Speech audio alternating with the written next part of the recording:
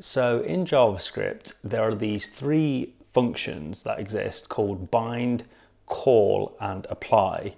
Now, if you've never used them before, you might not really understand what their purpose is in the language.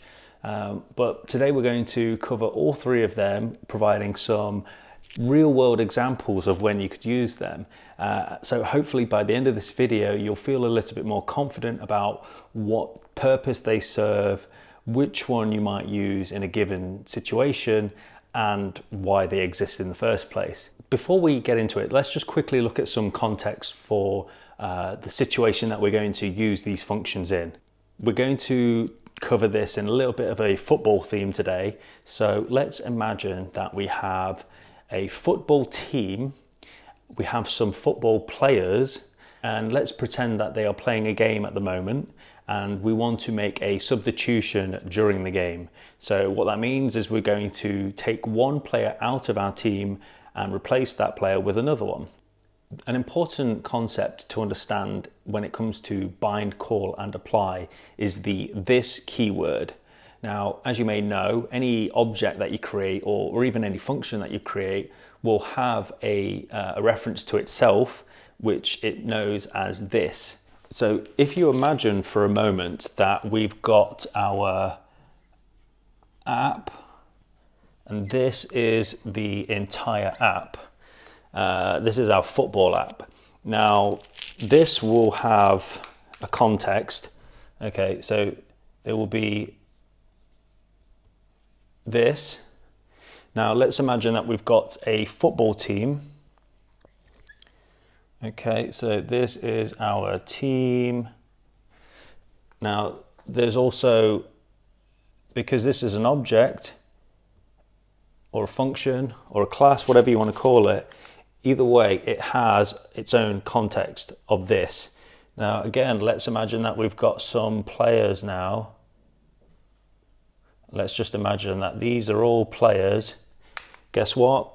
These, again, also have their own this.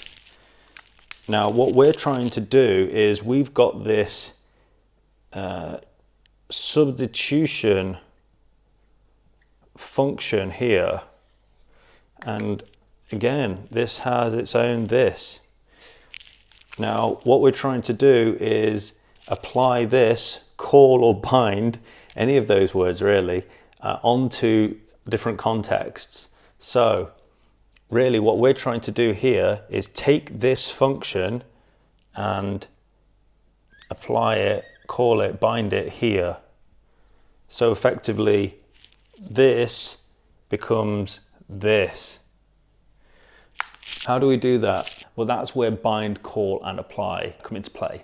Okay, so let's just quickly go through some of the code that gets us up to the point where we start using bind, call, and apply. So on the screen at the moment, you'll be able to see we've got some classes for player and team, uh, which as you can imagine, just creates the team and creates some players.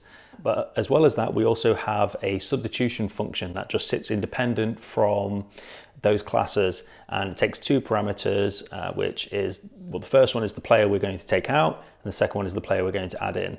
On the screen at the moment as well, you can see the team that we've created and the four players that we've created. Now the bind function just takes one parameter and that parameter is the context that you want to use it in. So what do we mean by that? Well, if we take a look at the whiteboard again behind us, you'll remember that we've got this substitution function and it has its own reference to this. What we want to do is change that so we bind it to the team and that's how it will understand the context that it should be used in.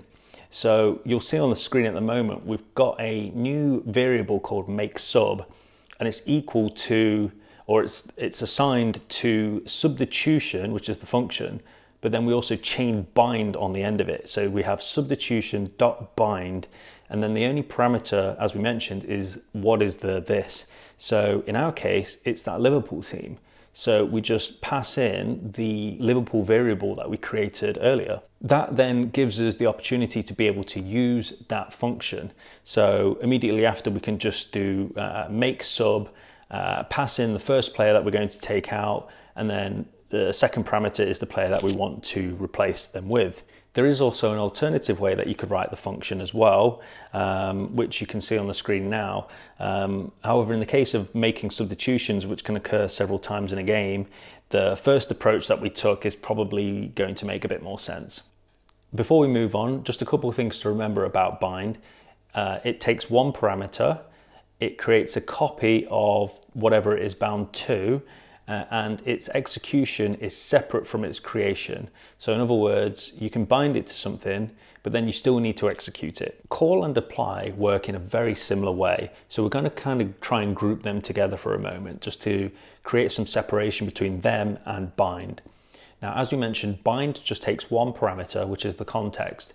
Once you've done that, you can then execute it. And then when you execute it, it will need whatever parameters the initial function needed. In this case, it's the substitution function.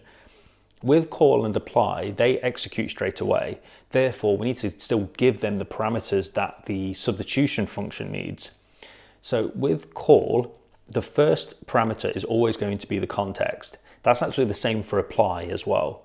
With call, it will take that context, which in our case will be the Liverpool variable, and then afterwards you just start passing in all of the parameters that the function uh, or the substitution function needs. So in our case, when we use call, it's going to take three parameters. The first is the uh, Liverpool uh, team. The second is the player that we want to take out of the squad. Uh, and then the third is the player that we want to put in. Now with apply, the difference is apply just takes two parameters. The first, again, is the context. So we will just pass in Liverpool. The second is an array. Now that array will then receive all of the parameters that the function needs. So that's the difference really. Call has three parameters, apply has two parameters. The first parameter for both is exactly the same. And then for apply, the only difference is we're just passing the parameters inside of an array, whereas in call, you're just spreading them in there. And there we have it. So hopefully you feel a little bit more comfortable when it comes to bind, call and apply. And maybe even learn something about the this keyword as well.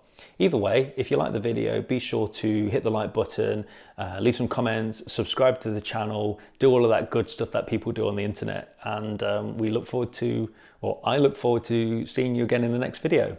Uh, and uh, Liverpool are Premier League champions.